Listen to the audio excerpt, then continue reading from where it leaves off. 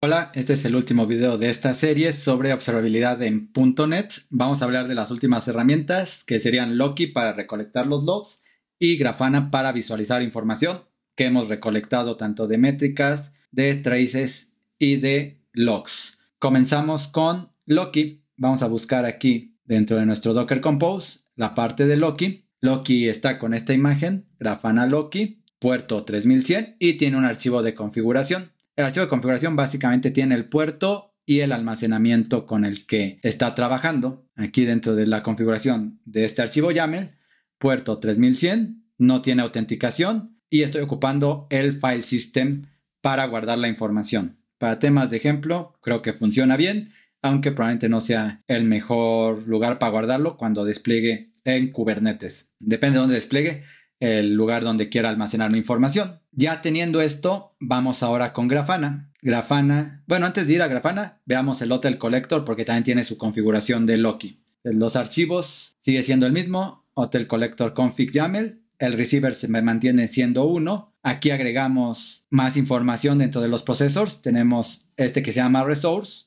con este atributo que es el nombre del servicio que estoy agregando. Entonces voy a trabajar con este adicional teníamos el de bash, tenemos este de recurso. Este acá no, lo estoy ocupando actualmente. Luego en exporters tenemos el de Loki con su endpoint al que tiene que enviar la información. La seguridad no está habilitada. Aquí está como TLS inseguro. Y finalmente dentro de los pipelines tenemos el de logs con el receiver de OTLP, los procesores que serían el de bash y ese de resource para agregar información adicional y el exporter de Loki. Ya con eso terminamos, tenemos todo disponible para enviar la información de logs contra Loki. Ahora sí, vamos con Grafana. Lo dejé al final porque ese no se conecta con el Hotel Collector. Levanto mi contenedor con esta imagen, puerto 3000, de momento nada de seguridad y tiene este archivo de configuración, Grafana Data Source, donde le estoy indicando quiénes son sus orígenes de datos es Prometheus en el puerto 9090, no tiene nada de autenticación.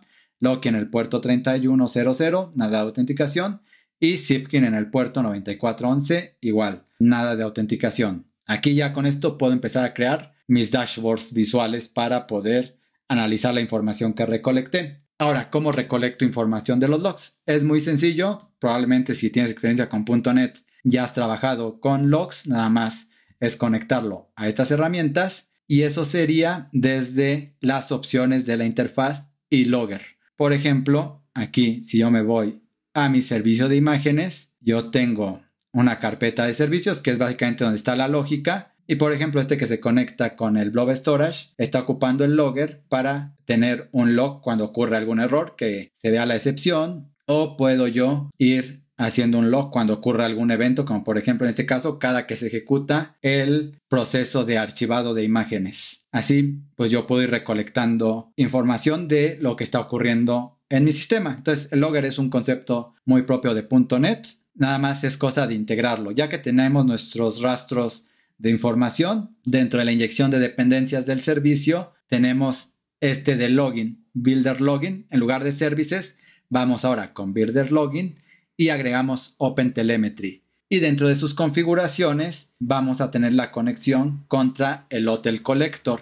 Tenemos igual el nombre del servicio, que es el mismo que configurábamos para las métricas y para el tracing. Aquí lo estamos generando de una forma un poquito diferente, pero el resultado es identificar este servicio y conectamos con el Hotel Collector. Ya con eso todo lo que estemos escribiendo con el logger de .NET se va a ir al Hotel Collector y de ahí se va a ir contra Loki. Vamos a ver ahora sí cómo crear nuestros dashboards visuales en Grafana. Para eso tengo aquí en el navegador este que es el endpoint de Grafana. Entonces, dentro de Grafana, como ya tengo mi archivo YAML, ya tengo mis orígenes de datos configurados y de esa manera yo puedo empezar a crear los dashboards. Microsoft ya nos ofrece un par de dashboards para poder trabajar con las métricas propias de .net. Entonces esa sería una de las opciones. Aquí creo que por error los, los cerré. Voy a buscarlos aquí muy rápido. Aquí voy a abrir así este que es el dashboard creado por el equipo de Microsoft. De hecho, aquí se ve que es publicado por el equipo de .NET. Hay un par de dashboards con las métricas de Prometheus que se exponen cuando vimos ese tema, puedo escoger cualquiera de estos dashboards o los dos. Estos tienen un identificador, copio este identificador o el JSON y con eso yo puedo ya agregarlos a mi grafana. vamos a crear un nuevo dashboard. Aquí en dashboards, voy a decir que quiero uno nuevo. Ya tengo aquí varios, pero nada más para ver el proceso. Nuevo dashboard, lo puedo crear desde cero o puedo importarlo con un ID. Agrego el ID, le doy a encargar. Aquí me dice que ya tengo uno que se llama ASP.NET Core. Entonces, pues le daré otro nombre. Y bueno, pues acá este, le voy a tener que cambiar este identificador para que no se confunda. El origen de datos es Prometheus. Ahí es como parte de esto, ¿no? Entonces ahorita pues ya no me deja agregarlo porque ya tengo ese dashboard, ya lo importé. Pero bueno, el proceso básicamente es ese, ¿no? Elegir el origen de datos e importarlo a partir del ID. Estos dos son los que nos da Microsoft y aquí podemos ver la información. Vamos a ponerle que de las últimas tres horas me diga cómo se estuvo comportando mi sistema. Y entonces aquí ya me empieza a decir que hubo peticiones al de autenticación, al de imágenes, al de métricas, al de generar email, que fueron justamente los que mostré en la demostración de Prometheus y de Zipkin. Cuántas excepciones no manejadas hubo. Les decía, ¿no? Cuando no encontré en Zipkin, les decía que hubo algunas excepciones en algún momento por lo de la base de datos en Azure que no tenía los permisos.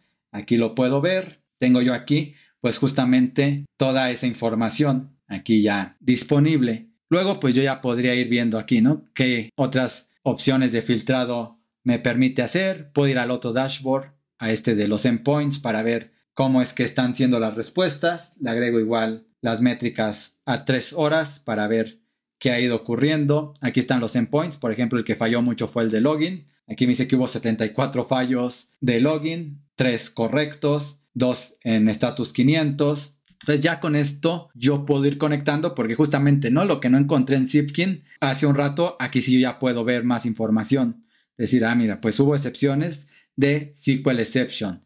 Y si las estoy capturando con el logger, ya puedo ver en qué momento ocurrió esa excepción. Si ustedes exploran aquí los dashboards que ofrece la comunidad de Grafana o los diferentes proveedores, pueden encontrar varios muy interesantes. Por ejemplo, yo encontré uno de Loki, estaba muy bueno, creo que es este. No, este no es. Vamos a ver por ahí. Este que fue el que yo personalicé. Y aquí yo ya puedo ir haciendo esas conexiones justamente. Aquí dice, ah, mira, pues si tienes el Trace ID, yo te puedo dar información de esa solicitud. Vamos a abrir Zipkin de nuevo. Aquí buscamos Zipkin. Abrimos dentro de esta pantalla, buscamos las de la última hora, buscamos las del Image Client, que era la que funcionó, que estaba bien. Aquí está el Trace ID y con este Trace ID yo ya puedo poner un filtro para que me muestre solamente información. Ahí se vio que se hizo como una recarga con ese filtro y aquí también, ¿no? Todos los